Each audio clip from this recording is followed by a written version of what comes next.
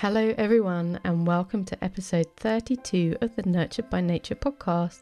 Today, I'm delighted to be joined in conversation by Claire from the Irish Forest Garden. Claire is an incredible force for nature, having been friends with Mary Reynolds, the inspirational Chelsea Award winning landscape designer, for many years. In 2014, Claire and her family worked with Mary to bring the forest garden from her book, The Garden Awakening, to life on a small, disused one eighth of an acre paddock. This was the start of their incredible journey, embracing their responsibility to become true guardians of the earth no longer fighting against nature, but working in harmony to nurture all creatures, both rooted and unrooted. As both Mary, Claire, and her family's vision has evolved, so too has their approach, and most recently, they have expanded beyond the forest garden to embrace arking and offering up even more land to nurturing the native flora and fauna. During this magical and laughter filled conversation, Claire takes us along on their journey from the challenges of starting at below zero in a nature depleted couch grass filled landscape to the highs of seeing their hard work literally bear fruit and witnessing the myriad of creatures that have benefited during their beautiful journey of co creation with the earth. We share our mutual hopes as we acknowledge the changes that have occurred in our lifetime and how discussions around nature are seeping into the reality of more people. Claire imparts two profoundly simple but empowering pieces of wisdom for us all to embrace. Before doing something, always pause and ask why. And just do it, no matter how small the action may feel just make the decision at the start of this new year to just do something and take that first step to becoming part of the solution. You'll be surprised at how quickly nature steps into the spaces we make for her. Welcome, Claire, and thank you so much for joining us on this episode of the Nurtured by Nature podcast. I've been following your amazing journey with your garden for a while, so I'm quite excited to have a chat to you and learn a bit more. But um, I just get started with my guests with a little question just to sort of bring us back to nature. And so I just ask everyone really about their nature journey and their nature story. And it can be interpreted any way you like. So, whatever maybe nature has meant to you through your life, recently, a childhood, wherever you oh, fancy oh, starting. yeah, that's that's a big one, isn't it, yeah. Fiona? yeah. Really? That's a very big one. Gosh, nature, yes always been a big fan always like grew up in the middle of the countryside it used to be called a village now it's probably more like a small town between winchester and southampton yeah an hour down from london and uh, definitely would have been one of those children and i don't even know if they still do it these days you had the nature table as the oh, you know yeah. in primary I used school. To love that. Yeah. And we used to walk to school. We used to have to go a few few yeah. fields, you know, to get to the actual school. And you'd always be looking out for a nest or a yeah. fir cone or a, you know a leaf or yeah. anything really. a nice stone a nice thing an old yeah. bit of bone or a, you know or a hare's leg that you find in the middle you know half gnawed on hairs and you'd bring it in and uh, and I must have been lucky having teachers that were very receptive to that sort of thing. And as I say we did always used to have a um a nature table. You we were always excited by it yeah. I've, I've, obviously I've come from a family that um, I've always encouraged, uh, you know, being outside, going hazelnut picking. I yeah. live near the Itchen. I'm very lucky, and only now do I realise when I talk to people here in Ireland that are keen river watchers or nature lovers or fishermen even they go oh the Itchen oh my god that's the most perfect chalk, you know, river. Oh, is it a chalk clear, oh, pristine? But yeah. it used to be down the road from me, so we used to go down there, you know, hazelnutting or uh, picking chestnuts or catching minnows. Always putting them back, catching yeah. minnows, holding them up in the jam jar. So my nature journey probably started when I was very small and just growing up, surrounded by fields and countryside, and just being yeah. out in it just, just genuinely yeah. just the doing it uh, uh, and it was normal, wasn't it? I'm sure yeah. you must have a similar story yeah, being in I think the curiosity of childhood as well, isn't it? Your sort of yeah. natural curiosity and yeah. nature was just this wonderful adventure playground, really, wasn't it? There was always, totally. like you said, something. Yeah. And you and you always, you know, the the the idea of birds just being able to fly, you know, what child and adult really doesn't imagine the magnificence of being able to fly and when you were a child, I have them less these days, but dreams where you're actually flying yeah. and and and being and and being able to have that feeling of going up and actually flying and looking around the uh, yeah. the landscape. And actually, I remember those dreams now to this day. Yeah. You know, the the really magnificent dreams that you had. Yeah, when, there's something when you were able to fly. Yeah, yeah, yeah. yeah. But uh, so I've always been definitely been drawn to birds and um, yeah, definitely birds, but general um yeah nature generally yeah. i mean uh, you're, you're always uh, when do you not feel more at peace when you're outside doing something in nature you, yeah. you, you know yeah, it's rare the, isn't it yeah i think that's the thing isn't it and i think um i mean that's part of why i called my podcast what i did because it was yeah. like this this sort of it was twofold it was you know the the nurturing that we feel in nature but also the need for that sort of reciprocity relationship, that reconnection where we are returning to a place where we're also nurturing nature rather yeah. than we've sort Absolutely. of we've veered a little yeah, bit away totally. from it as a society, haven't we? Yeah, and it takes a while, doesn't it? I mean, I think yeah. you know, you you telling me you you've I was talking to one of my children last night about the um what they they're 16 coming up and trying to decide what they want to do for for, for going on after school and yeah I ended up uh, for for totally bizarre reasons. I ended up I did an art degree and I, I went to France for a year. I came back. I, I, worked in London and I kind of fell into the music industry yeah, purely okay. because I could type. I could touch yeah. type, and I got put in media agencies that actually ended putting. But They put me in Warner Brothers Records. I stayed there oh, for wow. five years. then I went to ZTT Records. Stayed there for five years. Had my first child and uh, ended up managing one of the bands that I'd met at ZTT. Moved over to Ireland. I've been managing them for you know good over 25 years wow. now. But my youngest was saying like you know because uh, I'd often sit down and watch uh, Chris and Michaela and the team on the oh, yeah, Spring Watch yeah. or the Winter Watch or yeah. you know general nature programs. We were talking yesterday because she often I, I, would often be heard saying if people ask me what would you have done if you didn't do music what would you have rather have done knowing now as a nearly 60 year old person what choices you could have picked yeah i'd lo- i would have loved your job you yeah. know and i always yeah. think that wildlife photography or yeah. um really learning about that and being able to go out in nature so i kind of ended up coming around to it eventually but my youngest was saying like I'd like to do that. That would be a really yeah. good job to do. And and I'm, but it's there just seems to be more. I suppose it's just more talk about more opportunity. Think, yeah, I mean, I think um, I me and my partner were reflecting the other day even, and I was sort of saying. I wish like even I'm I'm just over 40 and I mm. was saying even when I was at school like nature orientated jobs wasn't weren't things that were really talked about you know it wasn't you went to your careers advisor and it was you know oh well that's nice dear but you need to have a proper profession kind of no, thing no totally Def- and, um, definitely yeah, yeah. definitely definitely even previous to that i mean i remember yeah. my careers teacher telling me you, you you should look at all of your what you're good at. I mean, I was very artistic, and I did yeah. biology as an A level. I did art and biology; they they were my things to pick. I was told like go and work in a bank.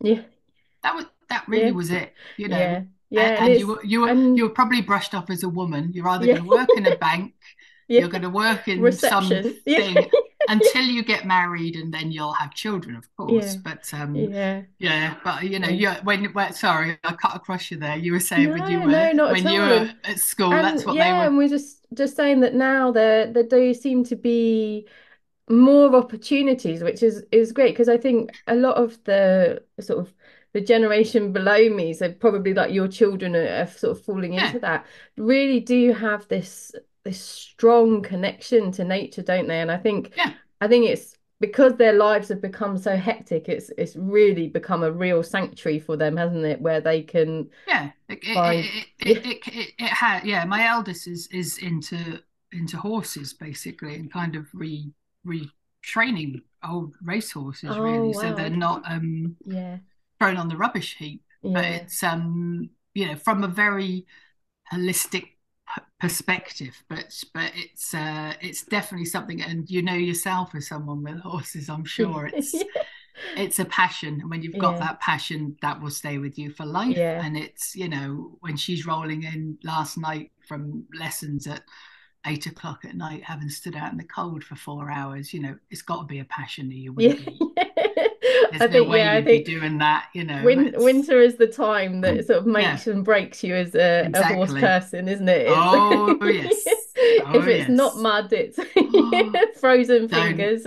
exactly, exactly. Yeah, but I think there's there's like you say that there's just more opportunity. Well, it just it just wasn't ever. It wasn't talked about back. I think you no. really would have had to have known or been grown up in an environment where people were saying to you, why don't you go and do this as a particular yeah. job and being pushed in a particular way yeah it just was there just wasn't those conversations no. being had not no. not where i was not that no, anyone I, was being yeah. like you know neglectful or nasty that they were just not they just weren't options to sort of like even think about go and do anything along yeah. the, the, the nature but in this day and age you'd imagine with the whole obviously we're all having to talk about climate change we're having to talk about an even bigger you know goes hand in hand with biodiversity loss yeah. it's just a massive precipice that we're on yeah. and i think people are at least starting to wake up and realize that bit yeah and bit. i think i mean that's that's the thing i mean i i do try to sort of you know not not naively but try and sort of frame things in a in a way that's hopeful and and i think like there is a little bit of hope that we can take from that that there is now these these jobs and careers in this industry yeah. or these industries that are focusing more on the environment and you know sort of uh, looking for ways to help and support it and monitor it and you know that that's that's a good thing in that it, there is yeah. a shift coming in society that even yeah. in our lifetimes we've seen like it's got a growing importance that totally. there are yeah. career opportunities now so um, yeah yeah yeah yeah yeah um but we uh or, or, or even we even know we even know phrases like biodiversity. Yeah, exactly. That they're in you know common in the language now, common. aren't they? Yeah, yeah, exactly. Yeah. yeah so our you... baseline our baseline shifted in that respect. We wouldn't have really talked about it. We kind of and unfortunately again growing up in the 70s, 60s, 70s, uh, 80s I think we just took it for granted. Everything yeah. was taken for granted. There was always this conversation with scientists that were at the yeah. cutting edge, probably going like, "Hang on a minute, lad, you know, we're, we're screwing the planet, lads. We're screwing up. We're screwing up. But obviously, we're we're set on, set on a path, and it's very hard yeah. to change everyone's mindset. It's just too big sometimes for people yeah. to get get their heads around. So yeah, yeah it is. Um, it is. It is amazing, isn't it? When you um you look back at people like I mean, even uh, well, he's King Charles now, isn't he? But when he was yeah, Prince yeah, Charles, yeah. you know, his sort of organic movement and what he was saying back in like the 70s, and you know, that was supported, like you say, by scientists and and evidenced and things. And yeah, yeah. it's it's and he was and he was laughed at really yeah. you know like a lot of people was like yeah yeah whatever Charlie yeah. you go talk to your plants. But and now in this day and age just talking to Mary Reynolds who obviously you know about Mary there's one tree of hers that she does talk to. He's a Scots a Scots pine called Kevin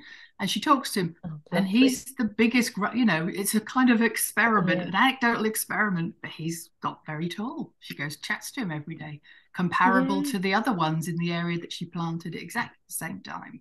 That's so it's uh, it? yeah, it is really yeah, yeah. yeah. And I think um, there and it's I love. I mean, I love like there are these like threads through language and that are passed down, and you know, it's you know like real real gardeners i want to say like used to talk to their plants didn't they it was like you know accepted yeah. practice and yeah. but you know they didn't you know there was maybe not that sort of actually acknowledgement that actually the the plant responded to it. It was just yeah. they were sort of a you know a kooky gardener yeah, kind yeah, of thing. Yeah, yeah, yeah, yeah. And, um, but yeah. and we and we probably we're only just scratching the surface. Oh, we really here, are, aren't we? we? Yeah. When like you know, you, it feels like only in the last year or so that it's been kind of even written about in in mainstream media or you know press outlets where people are realizing that the whole mycelium networks of the way that trees yeah. talk to each other, the way that trees respond when they're being attacked by, you know, a wasp or an ant or whatever.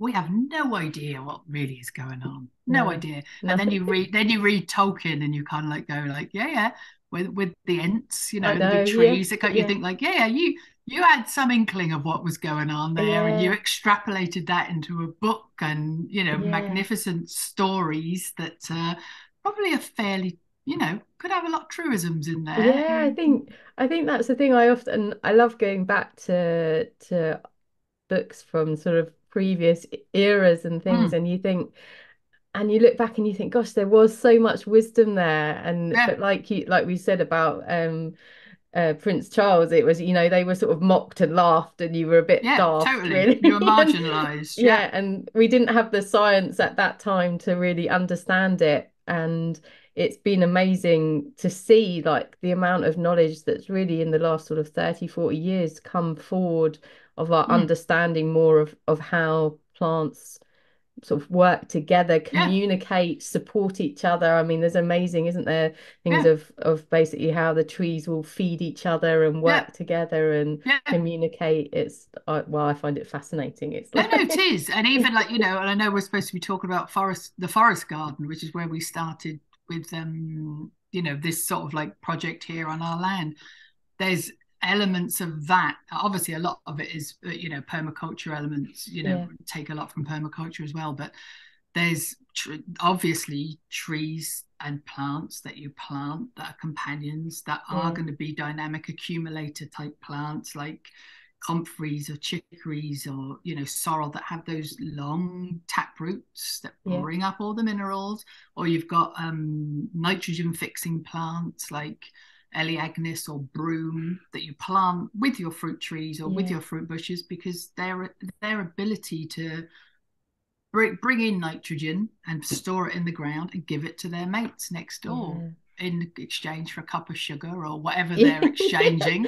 yeah, I love know. that. I love that description what, from you um, yeah. on your website. I think you put like oh yeah, it's like probably, imagining imagining you exactly popping around to your neighbour for a cup of sugar and it's like yeah, you it must be, you know, yeah. or a bit of a bit of a mineral hit here, or a bit of, yeah. a, but it, that must be, you know, how it works, yeah. and you know, and that I suppose, I mean, shall I talk about the forest garden? Yeah, where, where we started, we, we, because we're gonna we're gonna waffle on, yeah. we'll, we'll, waffle on otherwise for the next but, three uh, hours and not even touch on it. But no, it might be, you know, yeah, that that was that was the reason I invited you on, but just I find you fascinating anyway. But yeah, you um you have this amazing garden project that you started. I think it was it was inspired by Mary, wasn't it? Mary it Reynolds. Was, who, it was. If, it was. If yeah. anyone hasn't heard of her, I really encourage you to look her up. I will put her link in our show notes as well. Um, she was well, she was a garden designer, wasn't she? And she'd been to the Chelsea flower show she was and, a very, and awarded yeah, and things. Yeah. She was a very young, um, I think she remains the youngest woman to win the Chelsea. She's only 28 when she won a gold medal. Wow. And her garden was next to Prince Charles's garden, oh, actually. Wow. Okay. And I think he wandered into her garden and was very impressed I think he was immensely impressed. I think he yeah. may have even thought it might have been, I think he was rather jealous actually. I think he actually really vibed with Mary because yeah. of what she, the whole garden that she had um, yeah. built. And I think people at that particular show, I remember her telling me, this is a long time ago, you know, Mary's knocking 50 so she she was only 28 so that would have been well over 20 years ago now um, and she said you know people were going into that garden and spontaneously crying because it felt where she was using hawthorn and native yeah. flora that they'd taken from Ireland um, and a huge big moon circle and uh, moon gate entrance. It looked a fabulous garden. Yeah. I, have never yeah. seen it, but it looked a fabulous garden. I didn't know Mary then She said, no, people were coming in and crying because they just felt like, okay, th- this is where this is the vibration I should be getting from a yeah. garden space, from an outdoor space. And it's yeah. yes, it's designed, but it's uh it's drawing and using plants that we're told in the Western world, you know, you go to your local garden centre, I'm sure it's very hard to find a native plant in your garden centre in Herefordshire, yeah. just as much as it is for me in Wexford. It's, yeah. you know, yeah, it's not, it is, it's very difficult. You won't find one. Yeah. Yeah. Why do you want that weed? I know. Why do you want yeah. that old weed when you could have this beautiful South African flax or whatever, you know? Like, I don't want that because what's that? What good's that going to do? Any of my local things here. Yeah, we're yeah. not in South Africa. But um, anyway, I digress. But yeah, but Mary had done that garden, um, and she was a garden designer. That that was our point there. Mary was a garden designer. She was very um, lauded as a garden designer. But as she grew in her process and in her interaction with the world, and I probably met Mary. She was actually having a film made about her Chelsea win called Dare to Be Wild I met her backstage at um, a friend's concert, and she knew I managed singers, and she needed a bit of help getting um, navigating through the film process. Yeah. And she was in the middle of trying to write a book, and she was kind of writing herself out of a job, which is what she always says, which is true because as a garden designer, you know, you're kind yeah. of yeah you're putting uh, control on yeah. space i suppose and as we all know anyone who's got any sort of outside space it wants to do its own thing yeah. and especially if you're uh, you know so it, it's a it's a it's a hard old um it's a hard old square uh, circle to square that one when you're trying to sort of like and uh, and again you're growing up you're learning you're experiencing. And i think mary's first book the garden awakening was um it came to fruition. And we we put it out you know i helped her put that book out. Mary was in rented accommodation at the time. And it, it was all about uh, there's a lot of permaculture ideas in there, obviously, but there was a lot of forest gardening ideas in there. There were a lot of ideas from um, uh, the One Straw Revolution. There's a book I cannot remember his name. He's a Japanese fellow, and the the lad Larry Korn, God rest his soul, he he edited Mary's book, The Garden Awakening. Lovely man. He was he used to live in um, San Francisco, I think he was, but he came over and visited the garden when we first started it here. Oh. Anyway, we, she was writing that book, and we both said, I'm I'm a doer. I'm a real doer. Yeah. Great to see all these things on the page we're telling people yeah. how to do this sort of stuff in theory. Let's make one. Well, yeah. I've got a, an I've got an old paddock out there. The kids, you know, Izzy's um, horse, you know, she uh, had been removed from this paddock. I think it's only a, it's about a sixth of an acre or an eighth of an acre. I can't yeah. remember, but it's not I massive. Think, yeah, I think you said I think you say it's about an eighth of an acre, so it's Maybe not a, an eighth. It's not a huge it's, amount no, of space, which I think no. is also wonderful because it feels attainable it's to doable. a lot of people, isn't it? Yeah. It is, and and and that particular book, and that was the large garden in that book. So the other gardens that Mary was um, uh, advising people, and, she, and she, yeah. there's designs in that book. It's a good yeah. book to get if you've actually got even a small, small, much smaller outside space, because even mine at a, a, an eighth of an acre, it is work you know mm, yeah. all of it is work as again as anyone knows. But i think mary sold this to me oh no it's no work at all. Once you've done it it'll sort itself out. It's no work which to a certain extent that is true because you are you're you're kind of trying to mimic a, a woodland and you've got these layers of plants be they tall canopies or medium canopies and shrubby fruit bushes and uh, ground cover yeah. strawberries or root crops or climbers and you know and we had to put in any any garden shelter shelter shelter shelter yeah. we had there was nothing here it was just south southwest um it was a paddock But with the bane of my life fiona couch grass oh love you know. yeah got it. i i did read some of your Yay! early stories and i believe oh, right, um, yeah. you uh you enlisted the help of some some pigs i think didn't we you did, to, we did. to get going we enlisted the help of some pigs and again you know if i if i um there's a few people a lot of people were trying to do the same and i would say just yeah. come and have a look it's easier to come and look because we've made so many mistakes or we yeah. could say to you like this is how we did it and if we did it again we would have done it slightly differently i would have had the horses in to eat the grass down to the yeah. bare minimum before i put a goat or a pig on that land yeah. to turn it up and then i would have covered the whole lot with probably black plastic something okay.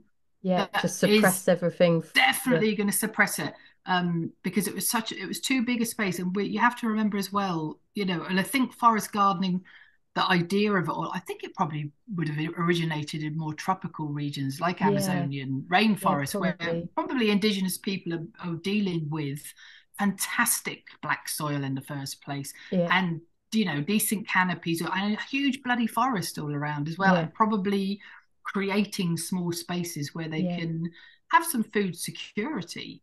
And you know, it's and it's a great idea not only for you know, we all look at monoculture crop fields and we all look at the poor hare sat outside it looking in going like yeah. there weren't me living there is there? Or yeah. the, you know uh, I, I, often see them that that isn't you know that's a reality. I often yeah. see them running up and you know running up and down the lanes and i rarely see hares. You're lucky to see hares in your garden. Rarely see hares these days. But um what was I saying? Oh yeah, but we're in Ireland, you see, and we are. We're not surrounded by Amazonian forests.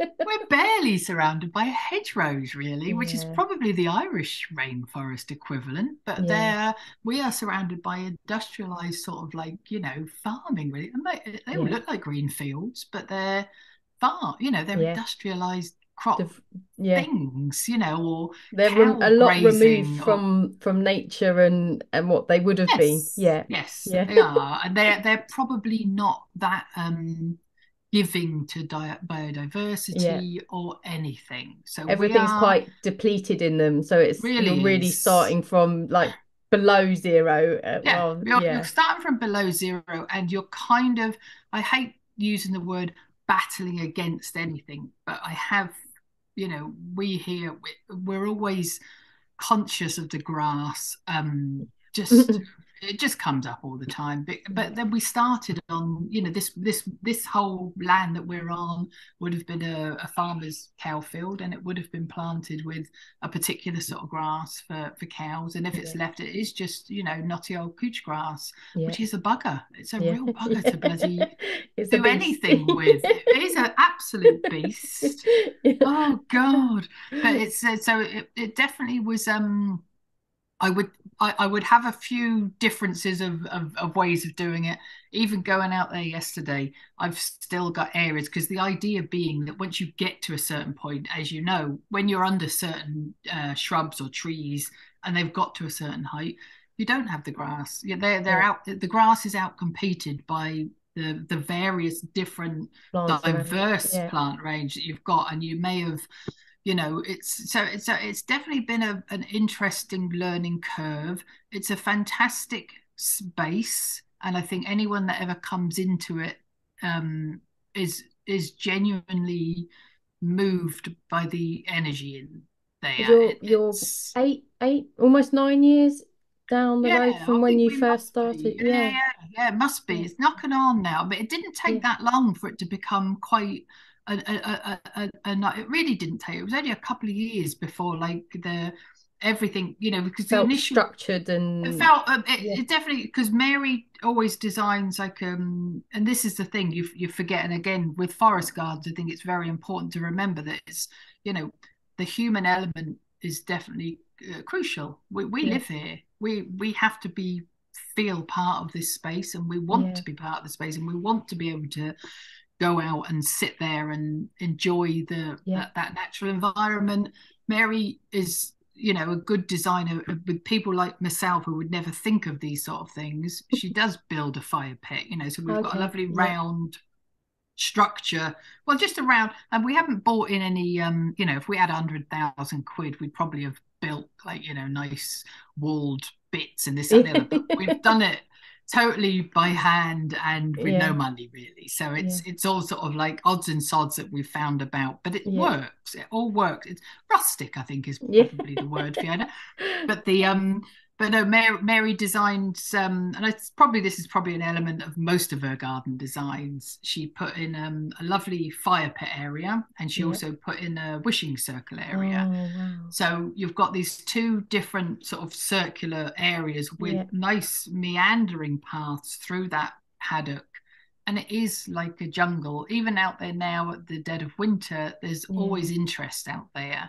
um we would have sat down myself and herself you know she got a bag of flour out originally and we we had the we tried to get rid of as much of the grass as possible we yeah. we covered it in quite a lot of cardboard and hay and straw yeah. and and kind of created the areas, the spaces, the the paths, and the wishing circle, and this that, and the other. And and and and planted bare root trees that were literally okay. whip, whippy little things yeah, because yeah. apparently that is the best thing to do and i can contest to that that is because before i'd bought trees that were probably six seven eight years old okay. in pots but i think and they'd struggled yeah in, in other parts of the garden they just struggled because i think it's kind of they just they, they can't it's like keeping a child in a very constricted yeah. thing and, and it just can't do its throwing thing them out into the world yeah. and saying survive yeah so yeah. when you're when you're getting bare root stock i think it's always better to do that because the things that we were putting in is whips that were like you know this big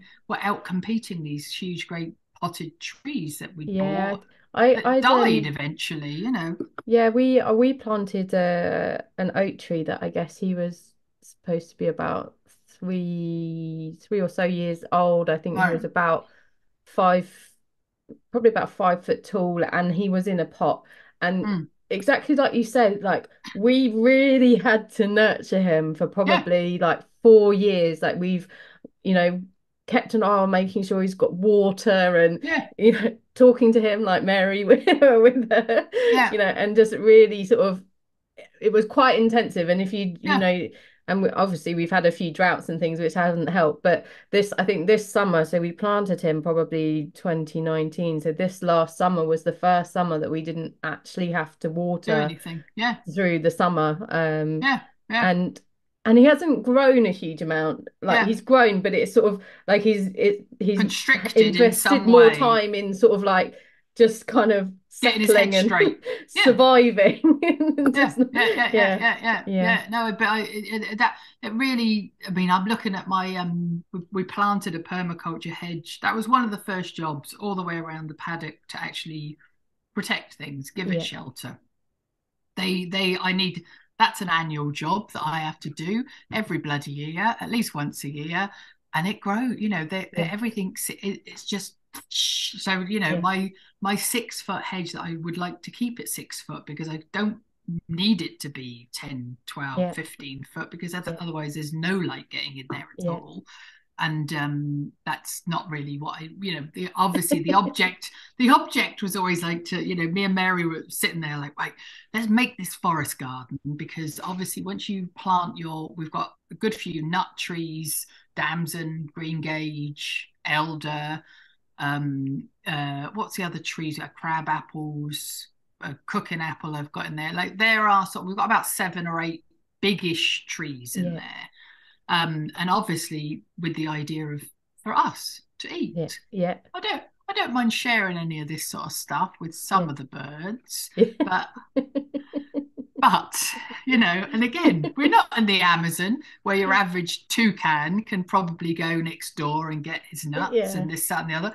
We live in Ireland, so yeah. what I've noticed with my trees and my black currants, red currants, white currants, gooseberries, yeah. Worcesterberries, Jostaberries, strawberries, everything that's planted in that garden, it became quite apparent quite quickly that unless I had a one eighth of an acre net to put over the whole bloody thing, I was not going to get a huge crop of anything out of this yeah, garden. you you were the you were like oh, the all day buffet in this but landscape to, devoid of of, of anything, of anything else. else. Yeah. So you can imagine this is what I think anyway. And you know, obviously this is only anecdotal, but even looking a couple of days ago, I've got a little apple tree out there that's still got apples on it, and they'd all dropped. The uh, especially since the cold weather hit, the um, I had ten blackbirds. You know what a blackbird's like? Yeah. Doesn't like to hang out with its mates that yeah. much. Very territorial. Piss yeah. off every other blackbird in sight. Yeah. But there was 10 of them. There was a couple of fieldfares. Yeah. There were a good few robins. There was blues. They were all over the city because they're, you know, it's obviously easy pickings and yeah. they're not in the other fields anywhere yeah. else. So you could imagine in the height of summer, or at least when the, you know, the the early raspberries come in and the good yeah. and the boysenberries and all this fruit Oh, I tell you, it's broke my heart a few times. i think the very first year I had boysenberries. I don't know if you've ever tasted a boysenberry, but it's a very delicious, largish, very succulent. Like must be a cross between a blackberry and probably a tayberry or something along that yeah. line. Very, it's a vicious plant, very yeah. vicious. And if I if I ignored it completely, I'd have just three acres of boysenberries and brambles having a great time.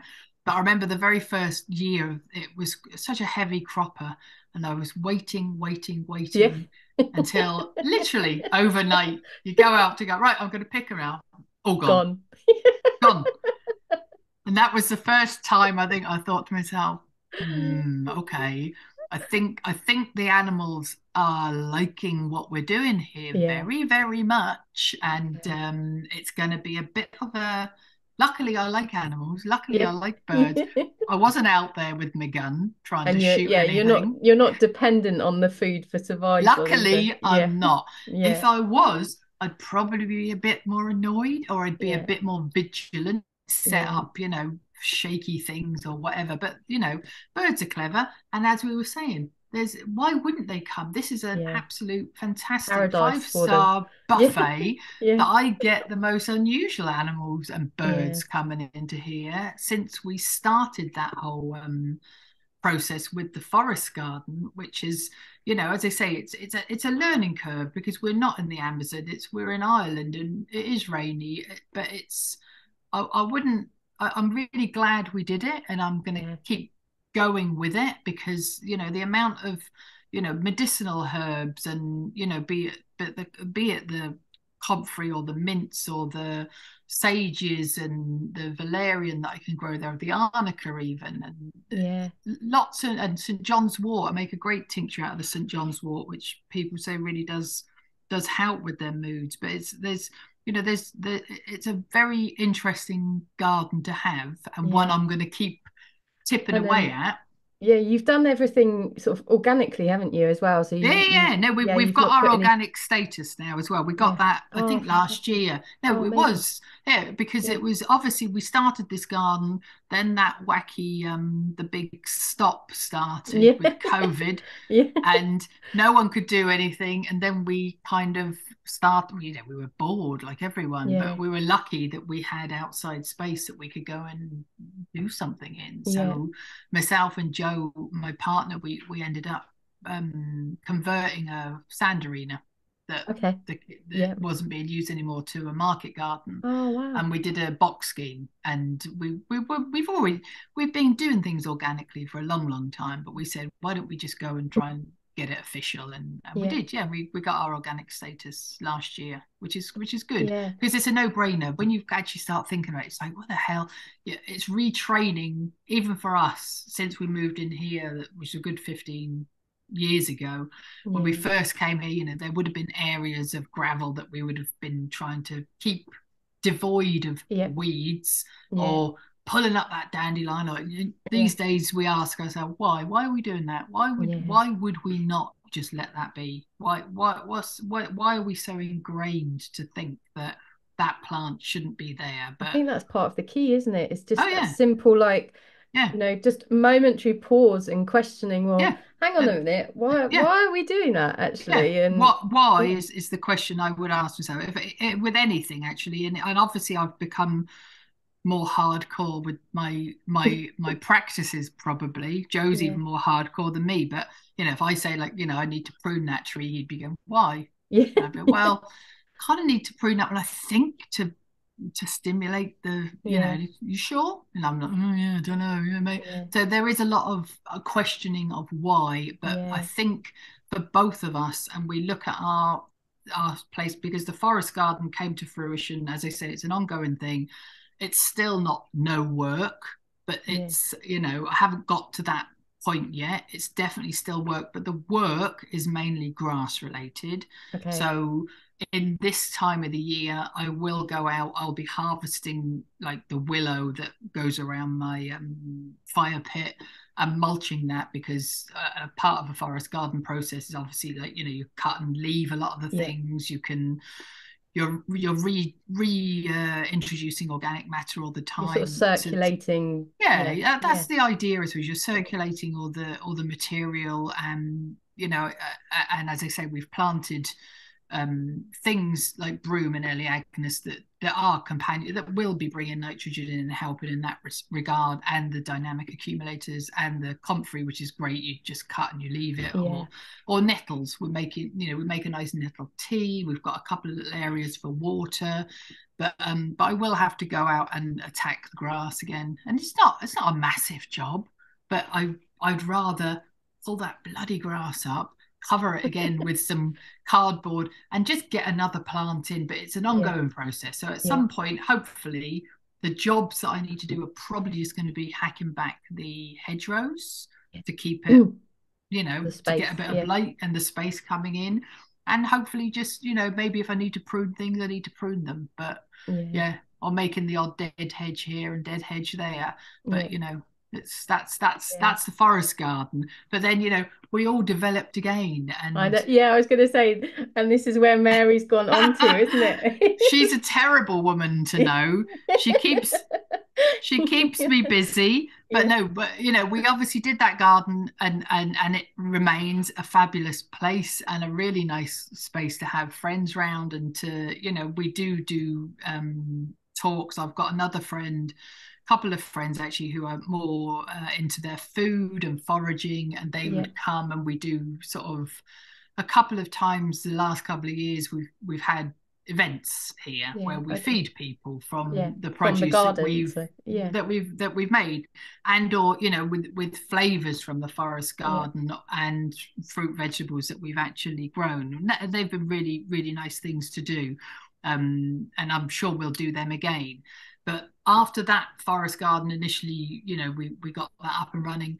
Mary changed her um, thinking process again, and, and, and again, she's just determined to write herself out of a job, really, and kind of like came to the conclusion that you know all of these designed spaces they have because of the huge, ridiculous loss of biodiversity that we've got and our, our our need to feel like we need to control these spaces yeah. we actually need to be really designing and creating habitat for nature because yeah. our gardens are just a wasted space otherwise yeah. if we i think what mary's um, idea is uh, i think what she's saying is um, you know if you've got if you're lucky enough to have any sort of garden space try and grow try and step outside the industrialized food system even for yeah. one plant do it yeah. do your tomatoes do your strawberries do do a bit of yeah. broccoli do a few carrots something take half of that space and try and grow your own food and the other half give it back to nature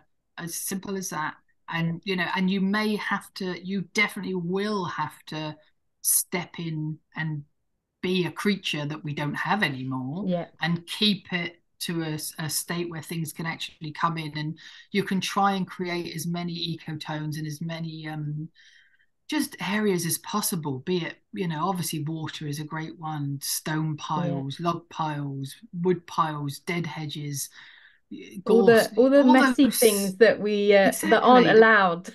no, aren't all the messy in... things that aren't allowed in normal normal gardening yeah. practices, and don't you know resist the urge to go at this time to buy bulbs in the you know in the nursery or go and ask your local nursery why can't I find a local mm. not organic broom here? Or why mm. can't I find any native like genuine native wildflower seeds? Or why is that yarrow not any good here you know why yeah. am i buying something that's from asia i mean that's that's the thing isn't it even like you go and you think you're doing you're doing good because you've you've got a, a nice wildflower mm. mix but it's like really flamboyant and it's yeah. not actually native wildflowers no, and that's the thing yeah. it's usually we don't realize and again we've all done yeah. it we've all done it you know you've done it i'm sure i've done it i know i've done it but it's you know but you then you learn you think uh, you think a bit more about it. You go like, yeah. And then you've got agitators like mary who are sitting yeah. there going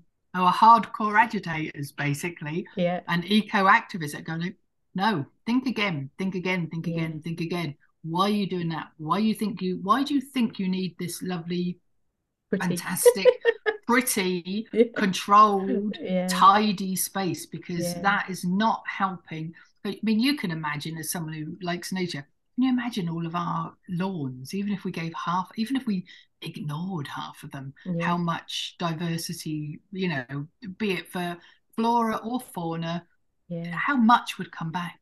Well, that's, I mean, so Mary's, it's her latest book. Oh, yeah, it? that's, that's, um, I should say that. We, yeah, yeah, yeah. We are the Ark, is it? Is we that... are the Ark. Yeah. And the Ark, and, the Ark stands for acts of restorative kindness to the earth and um, and I and I see where did I see it recently? It must have been Countryfile or somewhere like that. I thought, oh yeah, they've they've kind of yeah. taken that idea on board. Yeah, but I think they're doing acts of kindness as well, aren't they? I, I think I it's um it is it's an incredible book and i would recommend i, I have recommended it several times previously oh, i've had quite a few woman. people who have been inspired by her her movement mm. and like you said it's just what's so nice about the way she's written it is that it's accessible for for everyone like, and everyone. you know even yeah. if it's like you're in a flat and you've got a window box it's yeah, like she, yeah. you can do your bit yeah and um and it makes it, sense when you read these things i remember we talked about it obviously we we all me and, and mary and joe would, would be she lives about 30 minutes away from me so we're not that far from each other so we would get together and talk yeah. these ideas through and yeah. and and and have the just have lots of different interesting yeah. conversations about it and obviously mary's ideas change our ideas change but they definitely have changed for the better i think yeah. for all of us you know yeah. you, you, really do sort of like it's a no-brainer once you come over to the other side of the fence yeah. and you're sitting there you can still create a very magical yeah pretty pretty i was going to say i was going to correct pretty myself. is what we want but but it is but you as a nature lover yeah you know if you come you know there's a lot of people came in the summer um, mary was one of them actually because i've got a particular bank that we've just left the mm. thistles were the first thing that we kind yeah. of left and it definitely was the first thing that really made us go a plus b equals c you know it really it was the joined up thinking of because we had horses they used to eat the thistles yeah. you know creeping thistles every year when they'd gone we left them um, and we couldn't be bothered to do anything because we, we had a couple of acres. It's too much yeah, land to yeah. do anything with, which was good. But that we'd left them for a season, another season, and one day we went out and it was just covered in tortoiseshell butter, covered. Mm. Like it was about like fifty or sixty yeah. butterflies on it, and me and Joe were like, ah okay yeah. they all they all seem the creeping thistle for most of us in gardening terms is a like yeah, yeah, yeah. The devil. The no, yeah. yeah. and you well, don't... for farmers as well, like they're yeah. really, you know, that's like the evil, the evil that, um, that must be exactly that, and ragwort and docks and this and other. But when you actually leave them, you can see quite quickly and obviously all of the uh, creatures that come back and, and obviously depend on them. And if they're not in any of our gardens or industrialized mown fields, where the heck they really are being pushed to the margins. It's yeah. not surprised that we're 60% down on, yeah. you know, and I think that's like the, the horrendous figure that I think I, you know, we've lost about 60% yeah. or something crazy. Yeah. You know? I mean, it's, it is, it's, it's so sad. I mean, like we were talking right at the beginning about our childhoods and, you know, and, and I do, I do find it sad now. Like I sort of think of, of children now and I'm like, you know, yes, they can go out in nature, but there aren't all of these lovely Where'd things that we used yeah. to take for granted just, yeah. you know, 20, 30, yeah. 40 years ago. Yeah. They they haven't got that abundance that we experienced. And not at all. Yeah. They, it, just haven't. It's just not there. Or or you're not I think you're less encouraged to go out and just fanny around in a yeah. you know in a field oh yeah. you're just not yeah. encouraged people just yeah but again we're probably as children you're distracted by so many other things these days. Yeah. How many children do you know that want to just go out and uh, hang around in a field without yeah. drinking cider? You know, as a young child, you know, that is allowed to and yeah. would be able to jump on their bike and go out and just cycle into a field and just just hang out. Yeah, no, they just don't do it. It is really it is a difficult one, and I think that's why I I love what what Mary stands for and, and what you've done yourselves, and and I love how it like you you've you've taken us on this beautiful journey of how it's evolved for all of you and I think mm. that's important for us all to remember as well is like um, yeah. I think there's a wonderful quote by Maya Angelou and it's it goes something along the lines of you do the best you can until you know better and then you do better and and totally. I think sometimes yeah. we get so knotted up in like we have to do it, it perfectly yeah we oh, might totally. do it wrong that Absolutely. we don't do anything and actually it's like what you've shown is like yeah, you started with the the forest garden and that has its place and everything and but you know maybe if you were doing it now you're like well I might not even have done that but nope, we've done totally. it and it's and it's you know it's provided an amazing space for yourselves and incredible resource for for your all your local wildlife yeah. perhaps too good a resource at times but um but now you've you've evolved and like you said you you've you're fortunate enough that you've got a bit more extra land available yeah. and and you've are now sort of approaching gardening in in a different way again the um yeah. Yeah, and yeah. the benefits you're seeing from that as well. Yeah and i think that is the that is a that's the point i think that i would always try and say to people uh, like nike have got it right in their just do it. Yeah. You know it really is a matter of even if it's a tiny little thing and you've even got a, even if you've got a massive garden but even if you're doing one thing you're just you know you're sinking a little thing for water you're doing something. Yeah. You're you know you're just literally cordoning off an area just leaving the grass to go long where we don't God, we used to mow our bloody grass. You know, we used to actually put time and effort and energy and resources into yeah. mowing grass. And you think like, okay, why did we do that? That's what we started. Why are we doing this? It's like we haven't got little kids anymore that want to allegedly well, we've got kids who run around and it's like, yeah, but actually, little kids actually probably prefer going through long grass. Yeah. And uh, so we just mow a path through the grass now, and it's a, again a more interesting space. It's not a flat little piece of grass, you know, yeah.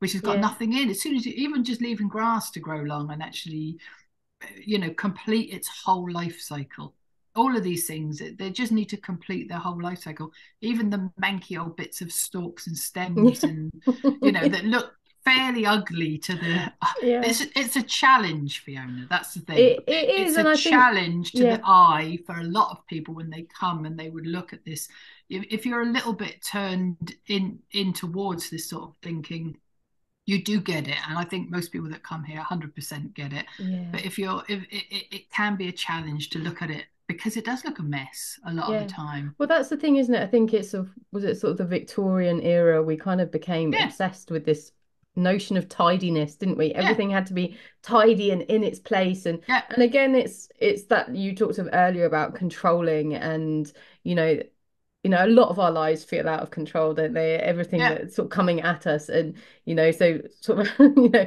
sometimes that gets misdirected and channeled into things yeah. like well i can control my garden so that needs to be all sort of neat yeah. and, and tidy and but it's relearning that actually that is there is the beauty in like leaving you know the the oh, nice oh god there's so much you and... you know it there's much more beauty there's much yeah. more beauty and that's the thing and i think i don't think i actually got to my point just a minute ago because I keep going off on tangents. Sorry, but uh, but around our mile marlhole, we, would left this sort of like bank of um, what did it have in it? It had thistles and it had um, hedge nettles and it had buttercups and daisies and oxeye day, and it was and loose purple loosestrife.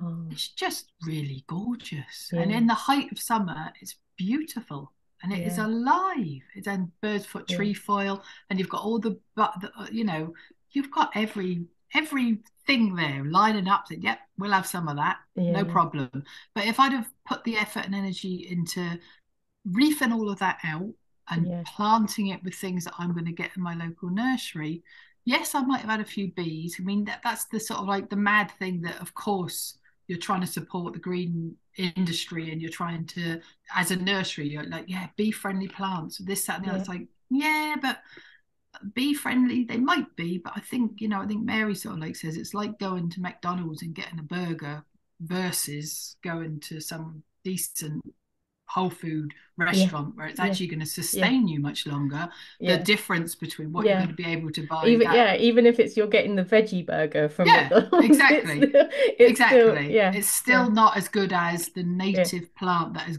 taken millennia to grow will alongside all these insects and bees and birds and this that and the other. But they've got to be it just stands to reason doesn't it? Yeah. They, it has to be best for them has to be and I think it's well the thing I love about Mary's Mary's approach is as well. I think I don't know if the statistics from her, I think it probably is, but in the UK alone, like the gardens account for like something like 10 million acres oh, of, of land. It's it's a yeah. huge resource. Yeah. And it's like, you know, she's I think she says sort of like, you know, even if it's like 50%, you leave 50% for yeah. wildlife and you can have the other 50% if you've got kids and they need to play football or um, you know, you want to or grow your vegetables. That's what we talked about earlier, wasn't it? Growing your own food and things. And yeah, yeah. it's just a, a huge resource that could it's wasted. be the tipping point, it's couldn't wasted. it? Really, oh, you know, it could yeah. be. You imagine if tomorrow everyone went, oh yeah, that that would be a good yeah. idea. Let's all do that, yeah. and you put your mowers away, and you just even just let your grass grow along, yeah, and just you know. well, yeah, I mean, we'd we'd save all the fossil fuel from running all the electric. Of would. And, yeah, you know, petrol and a, a double energy, bonus. and yeah, I know. The noise pollution, even alone, would be. Uh, you know, yeah, we hear buzzing insects instead of leaf blowers. I know. Oh, don't don't get us all started on leaf blowers. It's like, geez. It's, uh, it's, it's yeah. pure madness, isn't it? It's it, pure madness. It is. It is complete. I mean that that's the one garden tool that I just yeah, it, it, kind of leaves me speechless. I just I know, I know. We're we're all like that. We're all like that. But it's um, but definitely, you know, and and that uh, and we are, like you say, we are all still evolving. But we've got to this point now where we, our forest garden has become sort of extrapolated into our big forest garden, which is yeah. probably, you know, I'm definitely, we're we're definitely planting with food for us in mind but more to do well at least with us in mind but more so just to create areas and food plants for like Guelder rose and um you know spindle and this and things that you just don't see anymore even oh, wild spindle cherries. are beautiful aren't they yeah. yeah. and we're trying to get them going here uh, uh, uh, uh just things that you just don't see so no. you know because they're needed and yeah, I, yeah that's and yeah. yes oh i i found some wild spindle a, a, few years ago and i used it for my wreath on my my oh, door oh, nice. at christmas yeah and it's just absolutely beautiful color pop of color in the yeah. in the yeah. the winter landscape is just amazing yeah, but you so. don't see it anymore no. do you I never see it over here. No. We said like, right, we'll get some of that. We'll try and get that going in the uh because I, I can't remember. It's I know it's a food plant for some probably some particular moths. Moths yeah. various that I will never remember yeah. the name for.